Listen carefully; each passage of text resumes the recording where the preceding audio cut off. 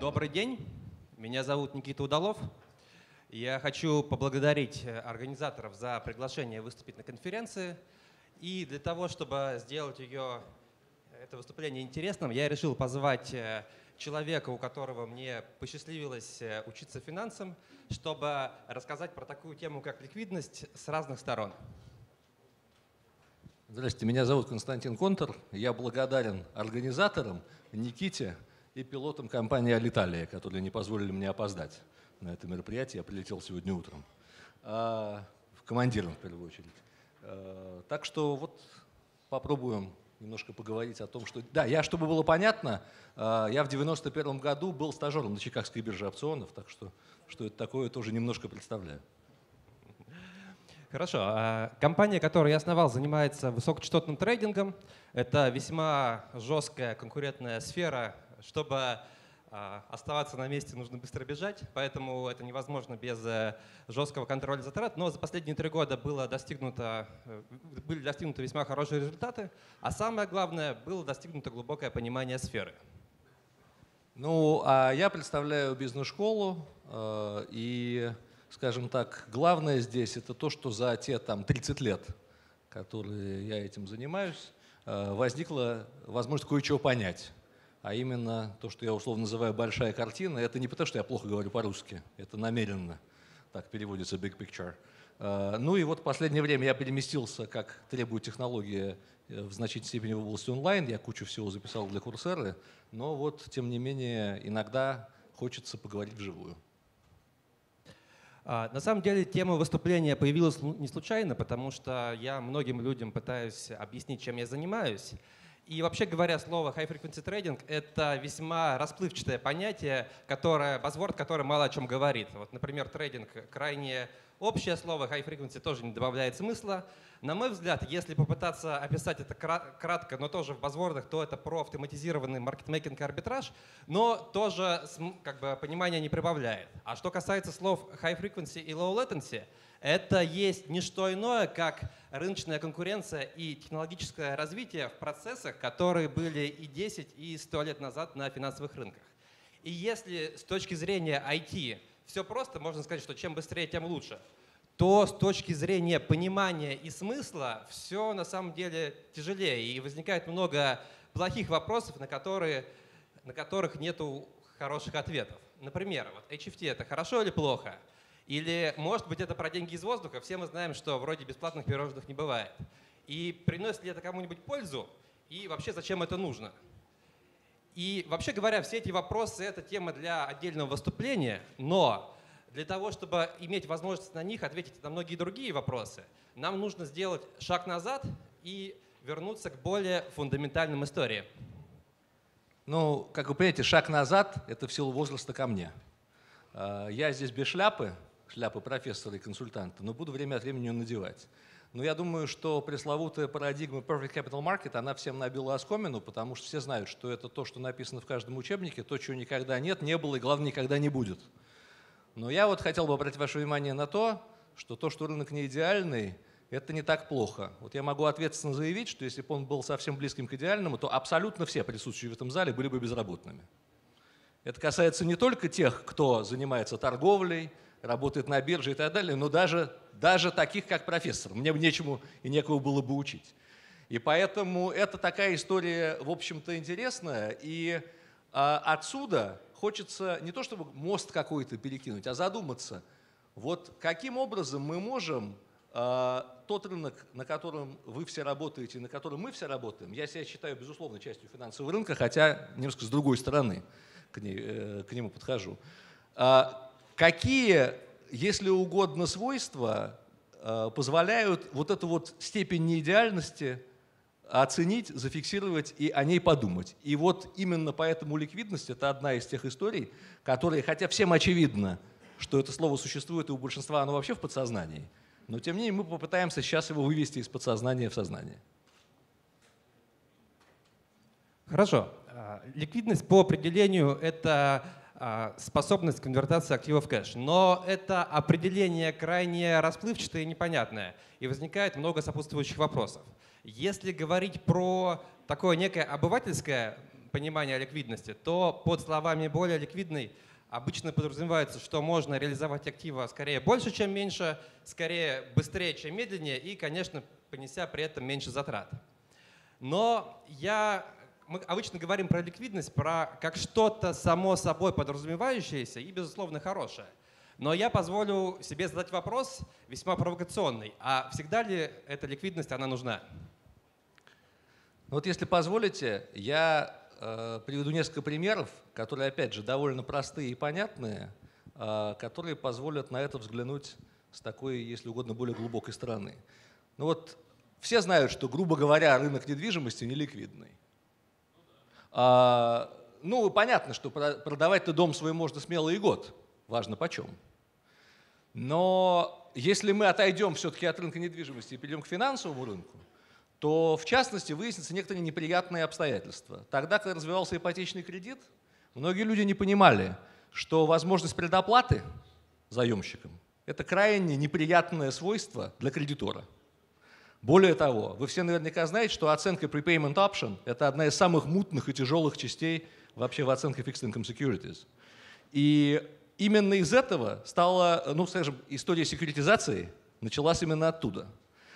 А как только возникают большие деньги и появляется необходимость у большого количества людей участвовать на этом рынке, вот тогда возникает фундаментальный спрос на то, чтобы нарезать это на понятные куски. Что такое CMO, все знают. Ну, я, по крайней мере, не буду сейчас об этом рассказывать, но это на самом деле стандартизованная, раз, а, вещь, которая позволяет большому количеству людей участвовать, в этом два, а самое главное, в которой оценки рисков, в общем-то, и их контроль снижены.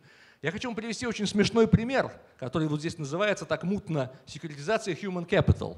Дело в том, что я бы не тратил ваше время, если бы пример этот не привел человек, который на опционном рынке сыграл немалую роль. Его зовут Боб Геске, может быть, кто-то знает о нем. Это человек, который запрограммировал впервые в 1972 году в калькулятор формулу Black Scholes для торговцев на CBOE. А, и мне посчастливилось учиться у Боба Гески в свое время. Он привел следующий пример – он говорил, что поскольку в Соединенных Штатах все переинвестированы в недвижимость, то возникает мысль, а нельзя ли оттуда диверсифицироваться? Он говорит, как? Ну, очень просто. Он обратился к одному парню, который уже тогда получил работу в Лазар Фрер, и он сказал, представь себе, что ты придешь через полгода к своему боссу и скажешь, выдайте мне, пожалуйста, PV моих доходов за три года. Я возьму кэшем, заплачу за дом, за БМВ, за все остальное. Ну, понятно, что этот человек, наверное, послали бы в психушку. Но обращаю ваше внимание, что если это один человек, то это психушка. А если таких людей миллион, то это страхуется, стандартизуется, и все возникает совсем по-другому. То есть на самом деле, когда люди создавали CMO, то до 1983 года, когда известный всем Дик Ролл все это создал в Goldman Sachs, это тоже было психушкой. Так вот, эта тема до сих пор не решена. Прошло, это пример, как я говорю, произошел в, э, в мае месяце 1994 года, то есть уже почти 25 лет назад. А никто об этом не задумывается. И это на самом деле такая история интересная. Ну, оттуда хотелось бы перейти к более таким приземленным вещам, а именно к обычным... Да, слушаю вас. Да.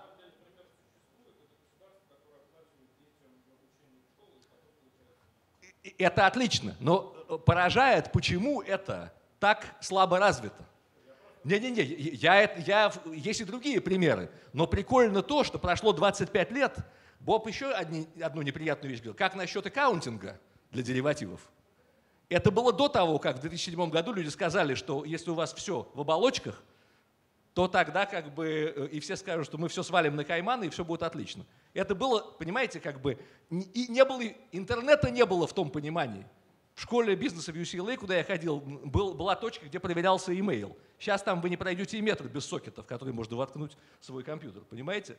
Но люди думали и тогда. Ладно, я немножко узурпировал. Э, немножко о ликвидных, обычных рынках, что называется. Да, есть э, на самом деле такой хороший термин, который называется immediacy, который, если сказать простым языком, это такая некая временная компонента ликвидности. То есть это про то, чтобы реализовать актив скорее быстрее, нежели чем медленнее. И оказывается, что есть ряд рынков, ряд случаев, а, где эта immediacy крайне важна. Например, это рынок деривативов. И вообще говоря, все те места, где присутствуют большие плечи и нелинейная взаимосвязь между ценой базового актива и, собственно, ценой дериватива. Ну, еще один небольшой экскурс в прошлое. Никогда не забуду этого эпизода. Это было на минуточку в дни э, ГКЧП в Москве. А именно 20 августа 1991 года. Значит, я был стажером на Чикагской бирже опционов в этот момент. Так получилось. Случайно. А, и я две вещи запомнил. Первое, что а, позвони, я решил позвонить своей маме, ниоткуда это не мог, с биржевого этажа я снял такой старый телефон, и слышно было, как будто я вот с вами разговариваю. Это первое, что... Э, тогда технологий еще никаких не было. Но более прикольная история состояла в том, что э, мало кто знает, что, допустим, э, тот факт, что в те времена люди торговали с голоса, был связан не с тем, что были плохие компьютеры, а с тем, что человеческий голос на порядок быстрее человеческого глаза. То есть пока у вас висит котировка на экране, это слишком долго. И я был свидетелем того, как человек, вот это не шутка, без всяких роботов вживую сделал 2000 транзакций за 40 минут. Это, это чуть больше секунды на транзакцию. Да, было вокруг него 4 раннера и 4 забивателя в это самое, и вот такая гора тикетов.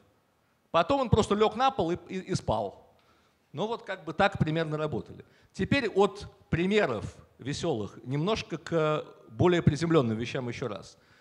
Наш основной месседж, который мы хотим здесь с Никитой озвучить, состоит в том, что, к сожалению, ликвидность, как в хорошем, так и в плохом, это не бесплатная штука. И давайте разберемся, сколько все же стоит ликвидность. Первый вопрос, который нужно задать, это для кого она стоит? Для продавцов ликвидности, для маркетмейкеров или для покупателей, для конечных участников рынка? Начнем с продавцов. Как минимум есть два пункта. Это транзакционные затраты и кост постоянного присутствия на рынке. То есть это IT, это люди, это, а, собственно, деньги. Но дело в том, что если эти две затраты с развитием финансовых рынков сильно сокращаются за счет рыночной конкуренции, за счет развития технологий, то есть еще одна не менее фундаментальная, а, еще один пункт в, в этих затратах, который со временем мало меняется. Ну, речь идет о так называемых информированных инвесторах. Значит, на самом деле, когда произносится это слово, у людей есть ощущение, что это инсайдеры. Ничего подобного. То есть они, конечно, тоже информированы, но есть куча других людей, которые не нарушают никаких законов и тем не менее являются информированными. В чем здесь неприятность? Что такой инвестор всегда у маркетмейкера выигрывает. Значит, маркетмейкер, который ему проигрывает, должен эти косты переложить на тех, кто их не знает, то есть на огромную толпу неинформированных. Если последних будет больше, слава богу, на всех рынках это так, намного больше, то тогда возникает только вопрос, вот эти все люди, неинформированные, прошу прощения за это длинное, не, не очень так удобное слово, они все согласны закрывать дырки тех, кто стоит на рынке или нет? Ну, как выяснится, да. Но вот тот факт, что с развитием технологий наличие информированных инвесторов никуда не девается, ставит определенную планку – что ниже этого по костам мы вряд ли уйти сможем. Вот так было, я ответственно заявляю, 30 лет назад, 20, 10, и пока не видно, чтобы это куда-то уходило. Потому что вот тут вот все как-то по-старому. Теперь давайте разберемся, сколько стоит ликвидность для конечных участников рынка. И как минимум здесь можно сказать две вещи. Во-первых, чем больше участников рынка, тем меньше стоит ликвидность для каждого из этих участников в отдельности – а второе, чем больше нужна ликвидность этим участникам, тем они больше готовы за нее платить. Ну вот я приведу три примера, они здесь условно называются. РТС-97, а, значит, ну здесь э, в основном аудитория молодая, но кто-то, наверное, помнит 2 января 1997 года, когда все пришли в офисы, э, и, а все экраны зеленые. И так было три месяца. Потом, правда, был... Почему это произошло? А, понятно, залили деньги в конце 96 года. Но есть очень интересная история. Я тогда просто был директором аналитического отдела крупной инвестиционной компании, и мы проанализировали, какие премии платили с инвесторами за какие акции. Обычные российские акции, там РАО ЕС, понятно, была самая ликвидная. И оказалось, что огромный кусок этого была как раз ликвидность. То есть люди не очень смотрели на финансовые результаты, не очень смотрели на угрозы реструктуризации. Но если, это так, если движуха есть, то люди в этом участвовали. Это первый пример. Всем здесь, конечно, очевидный. И теперь второй пример тоже более-менее очевидный, потому что сейчас, когда наступила глобализация, допустим, человек хочет начать торговать. Э, в принципе, не так сложно сделать это из любой точки мира на американском рынке или на каком-то еще, где ликвидность высока, где удобно, где дешево, а самое главное, здесь я переползаю в пример 3, где присутствует хорошее корпоративное управление. Вот, кстати, в третьем вопросе я написал серию статей однажды на тему, сколько стоит corporate governance. Может, как-нибудь поговорим и об этом. Я утверждаю, что там, где нет большого спроса на это, где играют только крупные, там его нет. Corporate governance нормально есть только в Штатах, потому что там десятки миллионов инвесторов и триллионы долларов за ними. Ни в Германии, ни во Франции, ни в Италии, ни в Японии. В Японии сейчас это большая, большая, большая история, вы, наверное, знаете, там приближаются у них собрания акционеров. Этого нет. И это неудивительно. Это показывает, что всем было бы неплохо в этом поучаствовать. Но за чей счет? Самый прикольный пример, который я не могу не привести. Э, вы, возможно, знаете, есть такой Джим Фенкнер, да, да, ну, довольно давно на российском рынке э, уже работал. И вот я хорошо помню, это был 98 год, лето. И он э, на конференции, я не помню, в Лондоне или в Цюрихе, как сказал, вы знаете, недавно мне позвонила моя мама, ну, он американец, и сказала, Джим, я, конечно, понимала, что у родителей и детей всегда бывают проблемы, но почему же ты такой гад не позволил мне купить российский ГКО? Он говорит, мама, я же тебе не враг. И вот вы будете смеяться, но вы... а, она бросила трубку, и стали они разговаривать только после дефолта. Потому что для нее ГКО – это государственная ценная бумага, правильно? Которая безрисковая, точка. То, что у нее доходность 150% была 28 мая 1997 года, никого не волновало. И она считала, что ее родной сын, который в теме, мог бы ей прикупить и дать на халяву заработать. Я вам клянусь, Джим стоял, как бы, по-моему, в Цюрихе, рассказывал, народ сначала не въезжал, а потом был гомерический хохот. Но это же происходит. Так что вот такая вот история. Ну что, а, вот и мы плавно подходим к концу. И на самом деле теперь мы видим, что рынки далеко не идеальны и, вообще говоря, не всегда ликвидны. Это не очень плохо и не очень хорошо, а вообще говоря, это нормально. И в тех местах, где собирается достаточное количество людей, которые готовы платить за ликвидность, ликвидность появляется. А там, где этого не происходит, собственно, она стоит слишком дорого для них. Ну, я напоследок хотел бы сказать, что хотя мне приходилось надевать здесь шляпу в кавычках умного профессора, но когда мы говорим о понимании, это гораздо больше, чем просто то, что мы посоревновались в интеллекте. Дело в том, что когда вы понимаете вот эти вещи и вынимаете их из своего подсознания, если угодно, то тогда у вас при разработке новых инструментов, при постоянии новых алгоритмов и новых стратегий появляется возможность понять, а вообще там есть глубина какая-то? Там можно, в принципе, заработать? И это, так что это не шутка, и это довольно важно для понимания конкурентного преимущества. Ну, теперь всем спасибо.